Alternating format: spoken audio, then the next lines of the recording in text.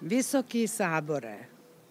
vaše visoko preosveštenstvo, gospodine mitropolite, časni oci, potpredsjednice opštine Budva, predstavnici vlasti, braćo i sestre, dame i gospodo. Obraćam vam se riječima kojima se u Bečkom parlamentu obraća onaj koji je štitio interese i kulturu svog naroda, Stefan Mitrov Ljubiša,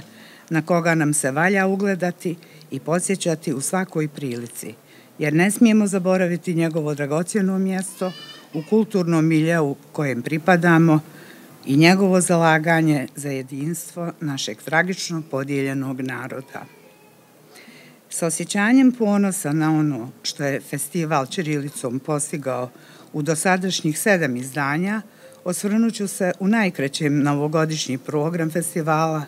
koji poziva da pišemo Čirilicom i da se ne odričemo Čirilice, nego da ravnopravno koristimo Čirilicu kao i druga pisma i da u toj harmoniji nađemo smisao kulturnih prohtjeva u današnjem vremenu. Festival Čirilicom nastao je kao poziv na sprečavanje nepoštovanja koje se sprovodi nad našom kulturnom baštinom, a u čijem središtu je Čirilično pismo i duh Čirilice. Mi smo neprestano ukazivali na to nepoštovanje i tako je misija našeg festivala ne samo u Crnoj Gori imala i ima veliki odjeg. Naše zalaganje za ravnopravnost pisama pokazuje se kao što je to bio i smisao borbe Stefana Mitrova Ljubiše i u ono i u ovo vrijeme. U Narodnoj biblioteci Budve i u udruženju izdavača i knjižara Crne Gore, koji su organizatori ovog znamenitog festivala, nedorasli tako visokom zadatku. Mi smo uložili svo, svoje znanje i umjeće da bi se istakla važnost i značaj onoga što je neupitni dokaz naše duhovne postojanosti u kome nas je okupljala Čirilica.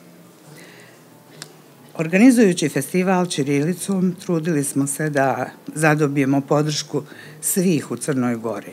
kulturne javnosti i javnosti uopšte, svih medija, pripadnika svih konfesija i predstavnika svih naroda i crnogoraca, i Srba, i Bošnjaka, i Albanaca, i Hrvata, jer smo osmislili programe na način da svi oni prepoznaju odlučnu namjeru koja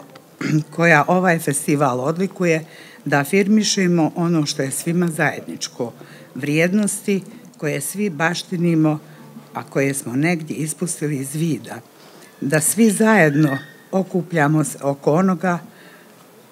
što je orijentir i što je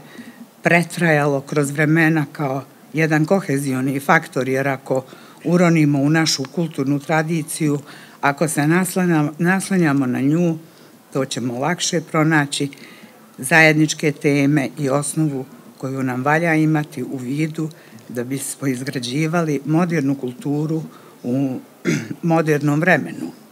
Sa osjećanjem ponosa kao direktor Narodne biblioteke Budve, kulturne ustanove koja u ovoj godini obilježava 160. godišnjicu neprakidnog kulturnog postojanja, godišnjicu kakvih je malo u Evropi i u svijetu,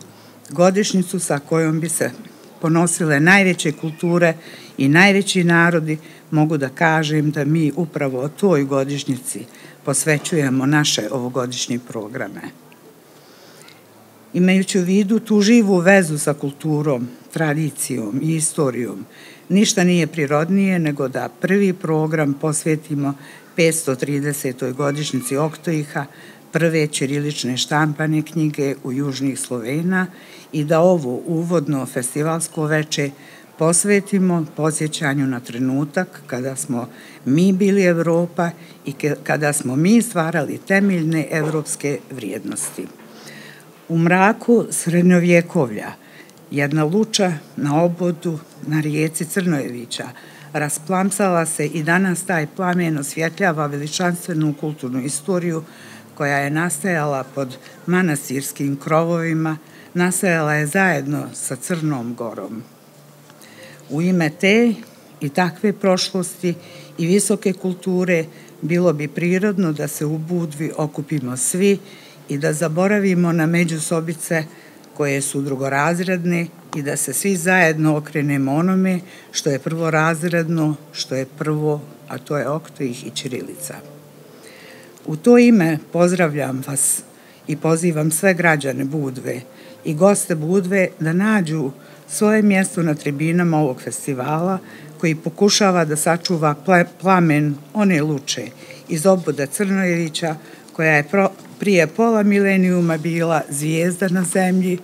i ona je osvjetljavala i danas osvjetljava makrokosmos našeg duha u mikrokosmosu ovog prostora za sve koji imaju oči da vide i koji žele da vide.